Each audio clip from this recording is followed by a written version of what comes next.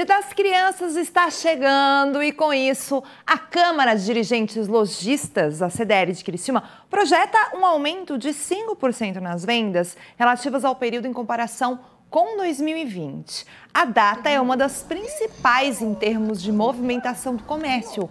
Aqui em Criciúma, serão dois sábados mais. Dias 2, que é esse próximo sábado, e 9 de outubro, que é o consequente, né? O próximo lá.